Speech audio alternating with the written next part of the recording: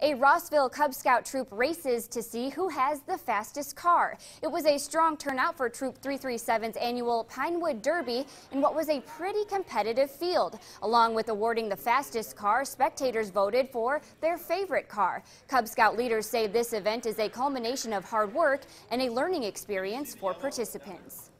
Quite a bit. You have to prepare the axles, you have to do the shaping of the car. Some of the kids take great pains to make a, uh, a paint job that's worthy of, of something that you might see in a dealer showroom. I'm a little biased because I had two twins in the race today, so my favorite car were those cars.